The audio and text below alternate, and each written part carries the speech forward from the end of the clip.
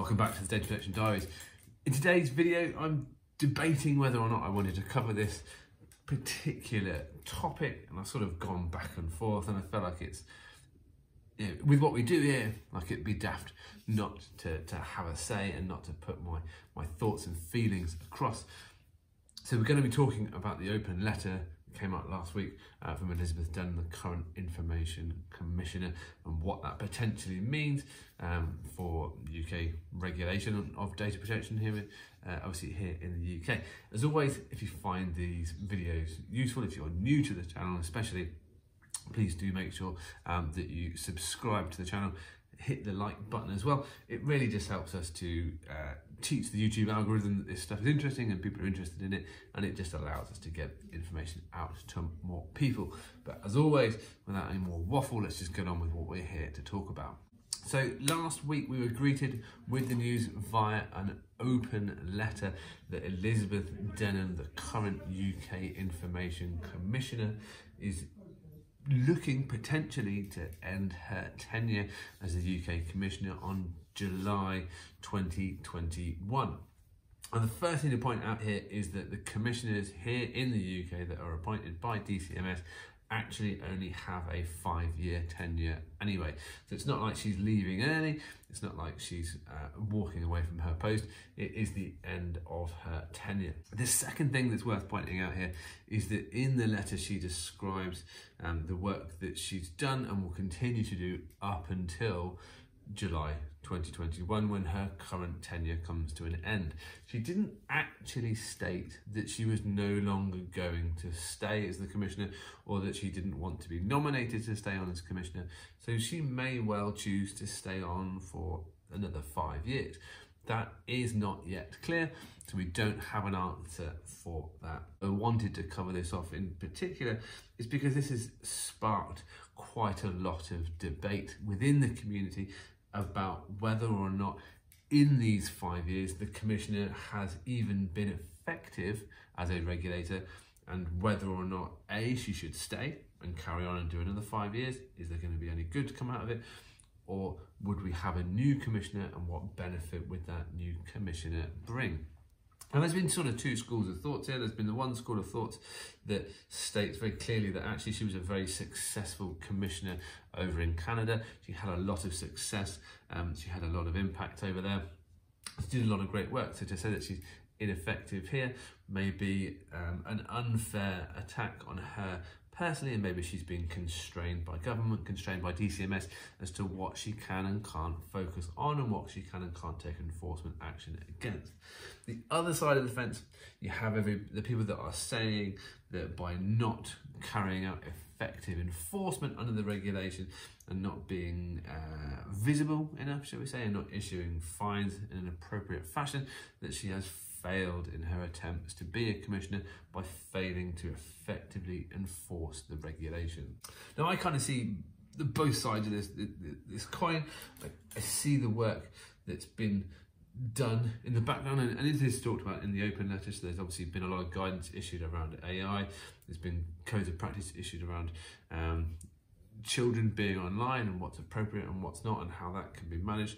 They've done a lot of work around um, the accountability principle and they've now released a, a, framework and a structure for that.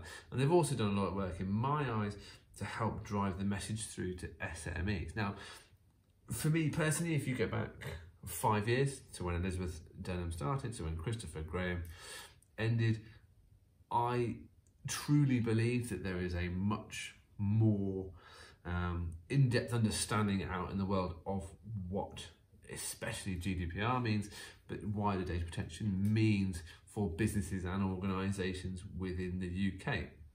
I think there is a better mindset, um, there is a better understanding of of how to implement those activities and, and what it means for small and medium businesses, which in the main is where this kind of guidance is possibly more important because big businesses have a lot of information, but smaller businesses can make a mess of things a lot, lot quicker. And also small businesses can still have access to huge amounts of information. So I think they have succeeded in the one sense that they have created um, a wider view. They've made people much more aware of what their obligations are and also what individual rights are. So making it much clearer to people out in the world what rights they have under the GDPR. Information Commission and the ICO as a whole has always been constrained by budgetary requirements, the amount of money they get from the DCMS and from the government to be able to carry out the things that they want to do. The second thing that they were really, really hit by was obviously when the GDPR came into force, all of their talented, knowledgeable, experienced staff were consumed by the public sector. They could not keep up with the pace, they could not keep up with the salary requirements, and to be honest, they just lost a lot of knowledge and a lot of very experienced staff. They then also had the challenge that they had a lot more um, to, to regulate. You know, there was a, a much more easy to use regulation that, that commanded much more interaction with organisations. So you put those two things together, and I think that's created some real challenges. Now, I don't think that matters whether that's information, um, sorry, the Information Commissioner from Elizabeth Denham's perspective or anybody that comes in afterwards. I think those challenges are still going to remain. I see the other side of the fence though. I see the issues around the BA and Marriott fines, huge fines that were potentially going to be issued, fines that were then appealed, and fines we are still waiting for um, more information on. I believe that information is supposed to come out today because the appeals process should end today.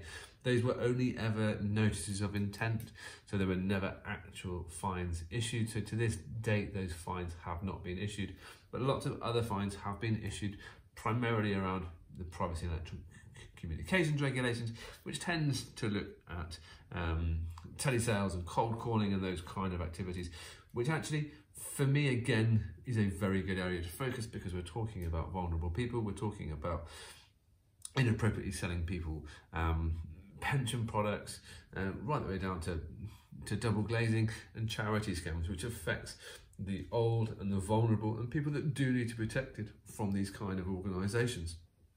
So I do think that kind of regulation has been very effective and has worked very well.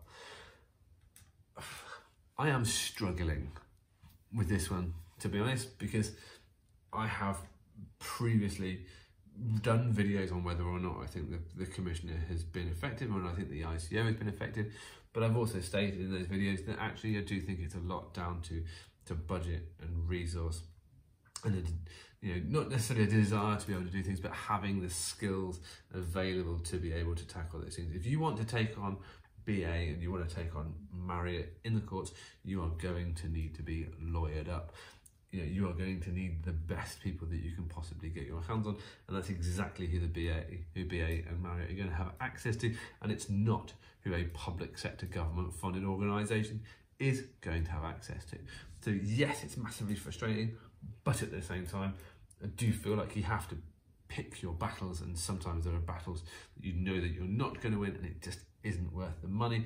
So actually putting that money into smaller organisations providing guidance and assistance and support to other organisations does seem like a better use of the money on the face of it, but obviously it doesn't necessarily grab the headlines and the attentions. Do I think the ICO has been effective? Possibly not completely. Do I think they've done a good job within the confines and the constraints and the budgets and the skill set that they have? Personally, I think so. I still refer to the Information Commissioner's website for information, guidance, hints, tips, tools that I can use to help support my clients and help my clients and their clients here at iStorm just better understand their obligations. And that information is useful and it is beneficial, and I know it's used by other uh, DPOs and other DPO support services as well. So there is a use to that, and the website is useful and, inf- and informative. So I don't know. I don't have an answer to that question. But I do feel that there needs to be a bit of a balance in the arguments going on online, and I'm hoping that this has kind of provided that balance. Anyway, I'd be massively interested to, to, to know what you think below. If you're here in the UK, if you've ever dealt with the Commissioner um, or the regu- or the ICO as a regulator, how do you find them? How effective do you find them? Do you think they've done a good job? Do you think they could do anything better? I'd be really interested to know your thoughts um, down below in the comments. And obviously, as soon as we know more about what Elizabeth is going to be doing, we'll be back here and we'll let you know what we find out. But for now, thank you very much for watching. As I said before, if you find these videos useful, please do hit the like button and obviously subscribe to the channel as well. We look forward to seeing you again soon. Thanks very much.